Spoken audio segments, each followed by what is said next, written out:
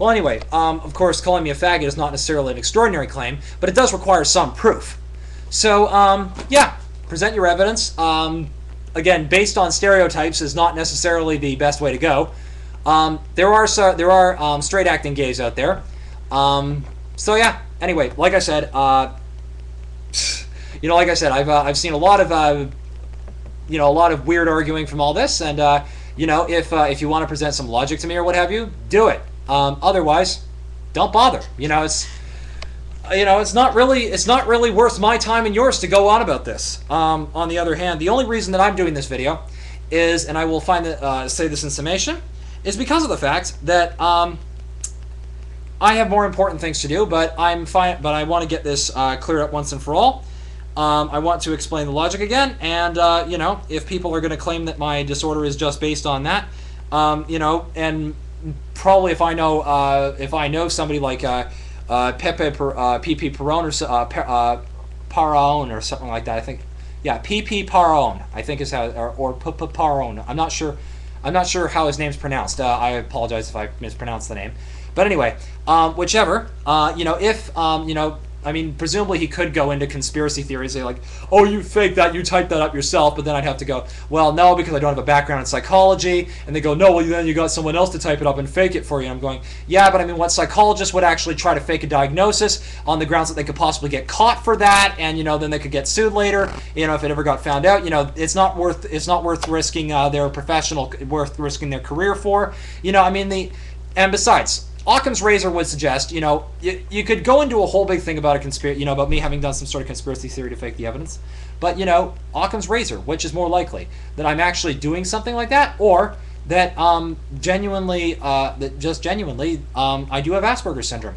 Uh, and, you know, and that's where a lot of this behavior, com- you know, a lot of my in, uh, you know, in your face type talking and, you know, uh, the way I speak comes from. And, as for the way that I put all the ahs and ums in, that's my attempt at giving a pause to keep my thoughts slow, try to keep it coherent. Um, you know, as an Aspie, trying to communicate uh, in terms that ver- that neurotypicals can understand. Um, you know, just two very different systems of thought trying to communicate. Anywho, um, so yeah, that pretty much covers it. And uh, I don't know what else to say. I think that uh, I think I've pretty well covered this issue once and for all. Um, if uh, you know, Anyway, that being said, I'm going to be continuing on with uh, my science videos and uh, more uh, videos because I've got a crap load I've still got to do there. Um, I've also got a crap load I've got to work on in terms of my exams and the like. Um, I've also got a professional magic gig I've got to get uh, back up and running again. I've uh, taken a bit of a sabbatical, you know, I've had to take a bit of a hiatus. Uh, um, you know, I do it during the summers, but I have to take a hiatus dur- during the school term, of course, to continue on with my work. Um, but yeah, other than that, you know, I've got I've got work and school and other things I've got to take care of, and and and my other videos, and you know, I've got more important things to do than be constantly trying to uh, repeat um, myself over and over again as to uh, what the critical thinking fallacies are uh, and where the illogic is in a lot of the spamming. So I've already done that in a couple of videos. You can go back and refer to them if you want. Um, if you're looking for examples of where these critical, thi- uh, you know, if you're looking for references for critical thinking fallacies, um, you can go to uh, any bookstore, uh, any uh, university, and uh, you can find a book on uh, critical thinking, uh, Introduction to Critical Thinking. Um, both the inductive and deductive fallacies are given there. Um, the means for interpreting statistics to avoid biased statistics and you know biased mathematics. Um, yeah, that's pretty much it. Go look up the rest of your so- the sources yourself. Um, as for my videos, um, generally I'll give references, or if uh, you know if I haven't put them up in the summary, uh, give me a, a, message and I'll send you my references uh, by uh, by message uh, link directly. Um, yeah. Other than that, that pretty much covers it. So. You know, uh, or if I haven't referenced it in one vid, if I've if I haven't referenced it in the video, but I've said look at my other videos, chances are I've referenced it there as well. So yeah, I think that pretty much covers it. Um, to everyone else who is to to all my faithful subscribers and to anybody who is uh, want, uh, watching with just an open, inquiring mind on any particular issue and is just uh, honestly interested in just uh, expanding their horizons a little bit on any particular issue, or uh, interested in uh, taking a look at my work and then correcting it if I've made an error. Um, you know, or is interested in just open discussion to you know expand expand the the horizons of human understanding and knowledge. Feel free to comment and take a watch of the videos. spammers, you know, you can spam, but is it really worth your time and trouble to do that? I mean, there's probably a whole bunch of other uh, ways you could probably spam each other or go spam some other videos of somebody else. You know, I'm only one person on all of YouTube, so um, yeah, you know, and if you want, and uh, by the way, if your spams do get bad enough, I will be blocking you. Um, but that's just a matter of policy. I will give, uh, you know, I will give a chance for people, you know, say after one or two, to, uh, you know, I will give a chance for people to try to correct themselves.